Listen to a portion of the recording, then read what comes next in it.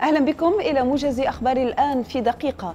ولي العهد السعودي الأمير محمد بن سلمان يشدد على عدم السماح بتشويه الإسلام وترويع المدنيين في الجلسة الافتتاحية لاجتماع التحالف الإسلامي العسكري ضد الإرهاب في العاصمة السعودية الرياض.